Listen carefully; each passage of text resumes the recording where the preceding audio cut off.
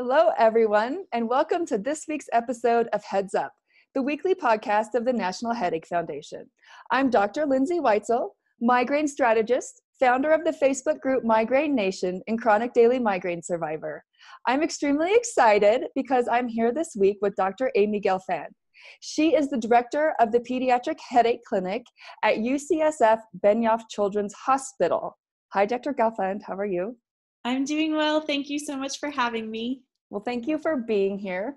We have Dr. Gelfand here today because we have a very interesting topic and she has published a lot in this area. We are going to talk about certain episodic syndromes that occur in children that are related to the future development of pediatric migraine and migraine in general.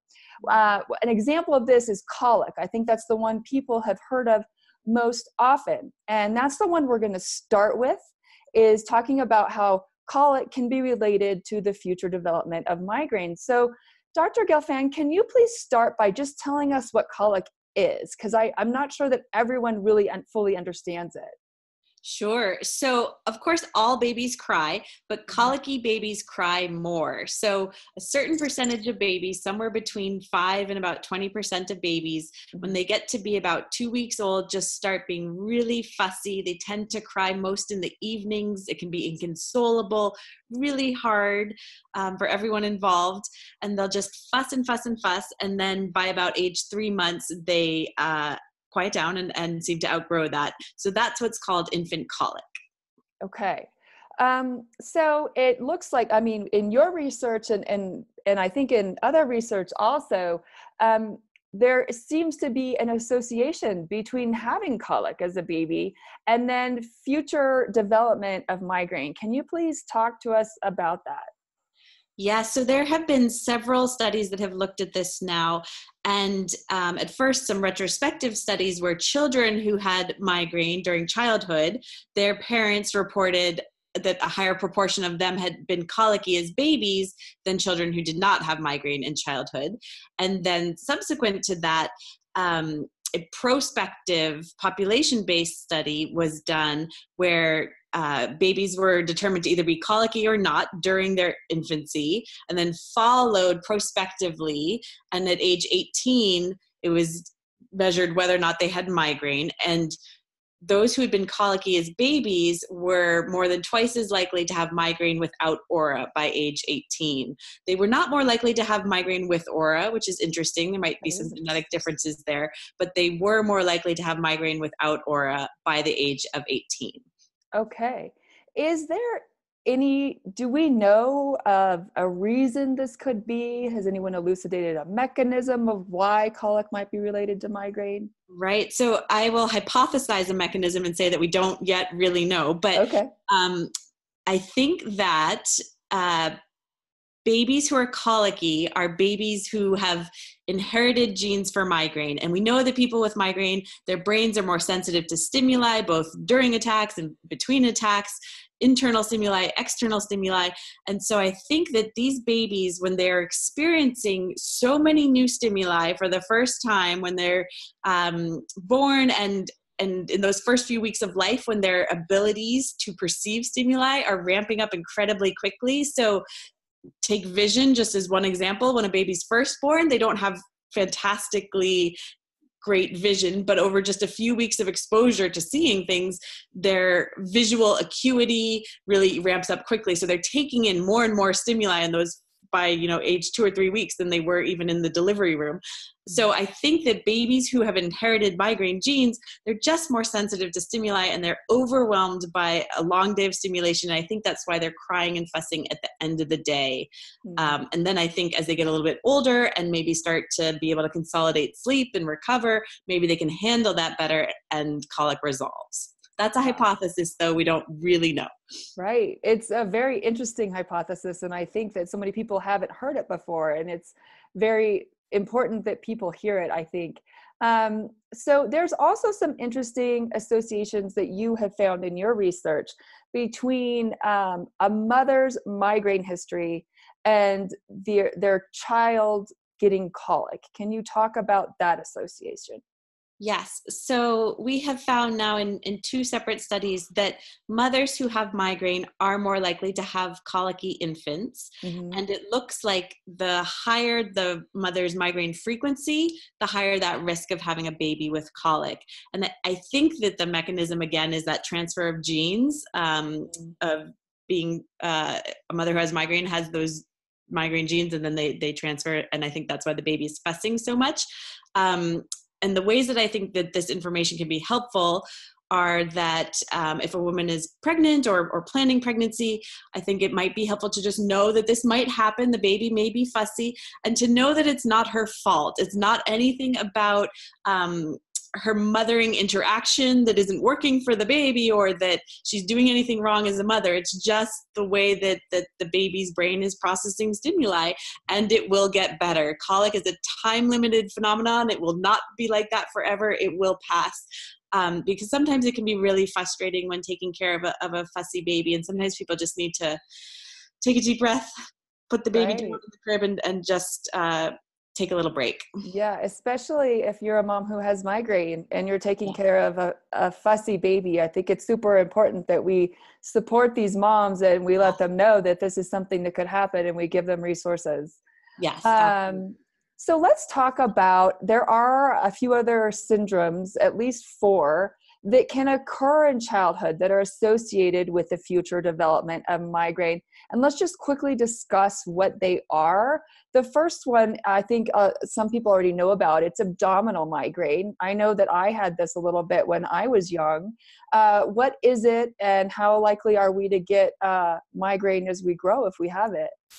Sure. So abdominal migraine typically affects school age children so let's say six or seven year olds and can go for several years. It can also happen in adults but uh, i'm giving you the most typical situation for a pediatric migraine doctor to see. Right. um, and the episodes will be abdominal pain usually dull or just sore diffuse sort of everywhere abdominal pain. Um, sometimes associated with light sensitivity or sound sensitivity or nausea, mm-hmm. um, not wanting to eat, being kind of pale, and the episodes can last for several hours to several days and what what i found is interesting is that if that starts around age six or seven the child might have episodes like that for a couple of years. And then maybe around age 10 or so they start to also experience head pain when they're having those abdominal pain episodes. Mm-hmm. and then by 12 or 13 it's really become the head pain and the nausea and the light sensitivity. And the abdominal part has often resolved. Um, so I think it's really interesting to watch the way that migraine expresses itself really evolve like that over the course of development. In terms of the absolute risk of um, if you have abdominal migraine going on to get migraine when older, we still don't really know. Um, but my general impression is that it's more likely than not. Okay. Um, so let's look at uh, cyclic vomiting syndrome, which, um, gosh, it's a difficult thing. It, uh, yeah when people have it it can be very miserable. So let's talk about um, its relationship to the development of migraine in a person. Yeah, so cyclic vomiting syndrome bears some similarities to abdominal migraine, but what I think is really different is that um, there's very prominent vomiting, many episodes, sometimes multiple episodes per hour, and they come with a periodicity that is reliable for that person. So it's not just vomiting at random it's you know every six weeks i get an episode and uh, it goes for a certain amount of time and then it stops although the frequency of those episodes do sometimes change slowly over time as the person develops but um, I think that really characterizes cyclic vomiting syndrome as different from abdominal migraine. The other thing that I often hear with cyclic vomiting syndrome is that it wakes the the child up out of sleep at a certain time. They'll say um, between midnight and 2 a.m she'll wake up with the vomiting and it, that's the way it starts. Mm-hmm. um, so yes this can be a very difficult uh, treat, uh, syndrome to be uh, faced with. And again in terms of the absolute risk of going on to develop migraine we don't we don't really know. Um, that's certainly an area where we need more research. How old are kids usually if they when they develop cyclic vomiting syndrome if they have it? On average around age five-ish. Okay. All right so there's something else that's a little less common, and I bet pe- less people know about. It's mm-hmm. called benign paroxysmal vertigo. Mm-hmm. Uh, what is that and why is it related to migraine? Right. So, this is a syndrome that usually affects preschool age children, so age two or three years old. And it's characterized by very brief attacks, maybe two or five minutes long, where all of a sudden the child will just look scared. They might go down to the ground, look like they suddenly got off balance, as if they've just come off of a merry-go-round or something like that. Um, and then it'll pass and they'll be completely fine. And they might have one every couple of weeks for two years and then they outgrow it around age four or five. Um, and again, we don't really know the absolute risk of, of going on to develop um, migraine in childhood, but it does seem from uh, case series and the data that do exist that kids who have benign paroxysmal vertigo as as young ones do seem to be more likely to get migraine as kids than kids who don't have it. Okay. And our last one we're going to talk about today uh, has a similar name. It's benign paroxysmal torticollis of infancy. Can you tell us what that is? Yes. So uh, this one affects infants, usually starts around age four or five months of age. And what happens with benign paroxysmal torticollis is that they get episodes of head tilt. So it might go to the right, and then the next episode it goes to the left. Hmm. And during the head tilt episodes, they can look pale, they might not want to eat, they can be fussy. And if they're old enough to crawl or walk, they can be off balance, something we call ataxia. Um, and sometimes this will last for a couple of hours or it might even go for a few days. Mm-hmm. And it might make it a little bit difficult for the child to advance in terms of their gross motor development because they're spending a fair amount of time tilted. Yeah. Um, they oh. do usually seem to catch up. This this from what we can tell is probably the rarest of these episodic syndromes that we're talking about um, but does again seem to be associated with going on to develop migraine when older. And this is one where we have a little more information, which is that some children who have benign paroxysmal torticollis have been found to have one of the gene mutations that is ah. associated with familial hemiplegic migraine, the kind of migraine where you get weak on one side with attacks. Mm-hmm. Um, there's a gene called the CA-CNA1A uh, mutation. It's a calcium channel mutation, and uh, there is an association between benign paroxysmal torticollis and that uh, that mutation. So, do they specifically usually get hemiplegic migraine as they get older? That's a really good question. I think we still don't totally know. Not and sure. I should say okay. that not all of them have that particular mutation. Okay. So that's probably just one of the genes that can cause benign paroxysmal torticollis there's certainly a number of babies with benign paroxysmal torticollis who've been tested for that gene and don't have it. So there must be other ones that can also do it.